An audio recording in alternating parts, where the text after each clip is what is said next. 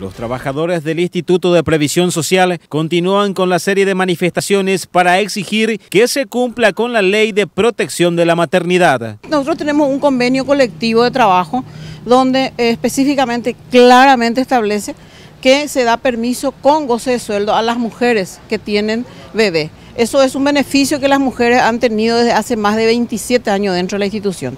Hoy la institución, ¿qué hizo?